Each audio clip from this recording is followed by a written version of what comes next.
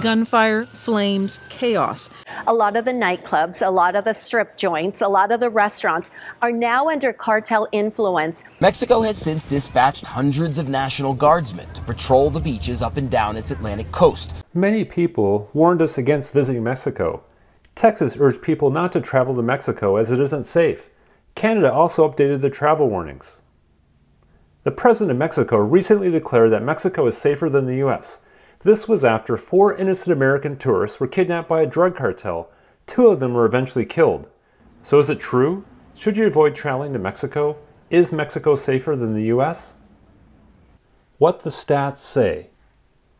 Statistically speaking, if you visit the US or Mexico, you are likely going to be safe.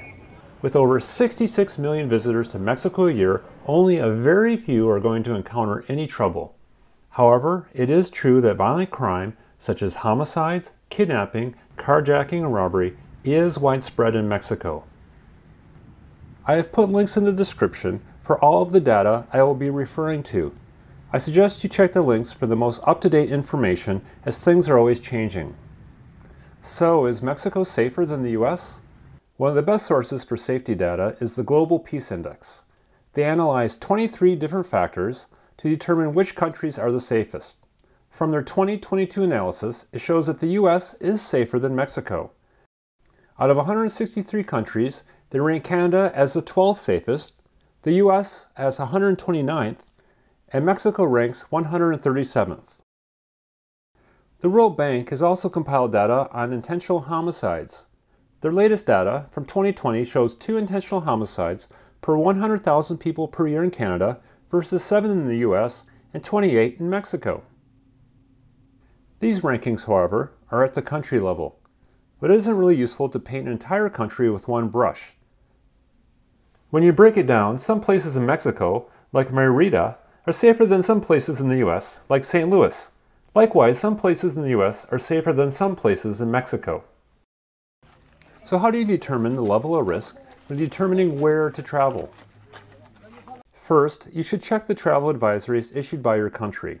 Many governments, including the US government, the Canadian government, and the UK government, have websites where you can get current updates about the safety of travel. For example, here is a map of travel advisories issued by the US government in April 2023. You can see that six of the Mexico's 26 states are red and they recommend that you do not travel to these areas. Another seven states are orange, which means you should reconsider travel to these areas. Personally, we would not travel to places rated do not travel or to places marked reconsider travel. We did, however, decide to travel to Mexico City, Tulum, and Playa del Carmen, which are all rated as exercise increased caution, marked on the map in yellow. For comparison, this is the same rating given to the Netherlands, Spain, and the UK. The 2022 Mexico Peace Index is another source for information about which areas are safer than others. It, however, isn't updated as often as the travel advisories. Can you trust the crime stats? Crime statistics are likely underreported not just in Mexico, but also in the US. Political pressures and funding pressures to show police effectiveness have the effect of reducing crime rates in all countries. For example, the FBI produces an annual crime report for the U.S., but depends on data submitted from police departments. Their most recent report was missing data from over 30% of the nation's police departments, including New York and Los Angeles. That makes it very hard to compare one place to another. Not all crimes are reported. When in Mexico, we were scammed at a gas station. We gave the attendant a 200 peso bill. When we looked away for a second, he pocketed the 200 and showed us a 20 and motioned that we didn't give him enough money. We argued that we gave him 200, but he just shook his head and showed us the 20. We decided just to give in because the environment did not feel safe, and we didn't feel like reporting it would get us anywhere. This was just a minor crime, but is just an example of how we didn't have faith in the system and how some crimes aren't reported and won't be reflected in the stats. These are our subjective opinions based solely on our personal experiences. Please do your own research. If you have your own experiences or opinions, please share them in the comments below and let's get a discussion started. Every place we went in Mexico, the National Guard was patrolling with massive guns. Even in the small laid-back beach town of Puerto Morelos, we saw a tent set up with dozens of officers. And when we walked up Fifth Avenue in Playa del Carmen, there were drug dogs sniffing us as we walked by. Reading the newspaper during our travels added to our concerns. It didn't help that as we were preparing to visit, a cartel leader was arrested and violence broke out. Two airports were shut down and people were advised not to leave their homes or hotels. Some tourists were stuck in Mazatlan. Shootouts erupted between heavily armed cartel members and the Mexican armed forces. Then, when we were in Playa del Carmen, four inspectors were violently killed when visiting a bar to check their compliance with local codes. The inspectors had just been doing their jobs. Their role is to enforce problems with illicit businesses, illegal drug sales, and to prevent the beachfront restaurants from taking over the beach zone. The killing occurred at a place we had walked by earlier in the day. If something like that had happened in Canada, it would have been huge news, but there it just seemed like another day. Then, after we got home, four people were found dead near a hotel in the tourist area of Cancun. All of these things happening around the time of our trip have certainly influenced our perceptions. Now, Mexico has been plagued by cartel related violence and corruption for decades. Cartels are criminal organizations that are involved in the production, distribution, and smuggling of illegal drugs, primarily fentanyl. These drugs are often destined for the United States where they are in high demand. The Mexican cartels have been operating for many years and become increasingly powerful and violent over time and have acquired high powered military grade weaponry. These organizations are known for their use of extreme violence, including murder kidnappings, and torture to further their criminal activities. They've also been known to bribe officials and use corruption to further their goals. It isn't just drugs either. I've also put a link in the description to a YouTube video about extortions and kidnappings in the avocado trade.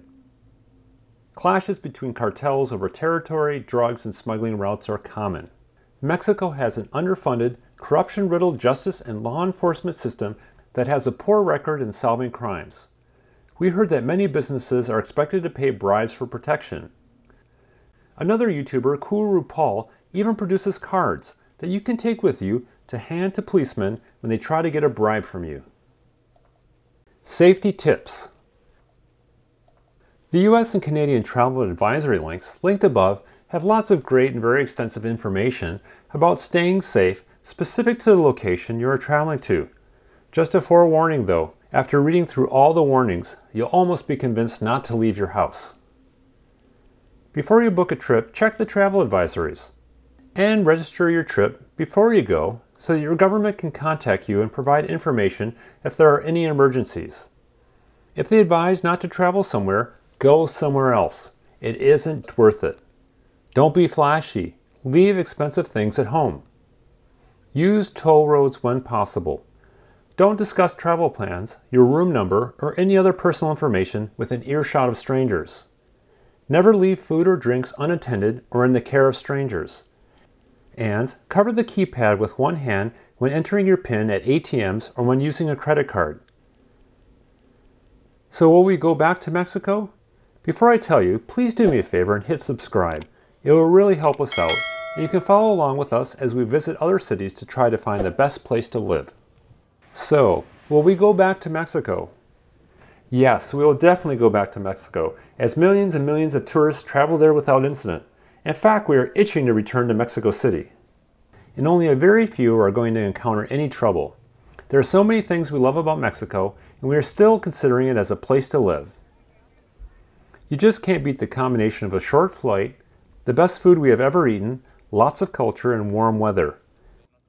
We will, however, check the current travel advisories before traveling, follow safety guidelines, and avoid places that feel unsafe. In my next video, I will be letting you know what we thought about Playa del Carmen. In the meantime, check out these other cities here.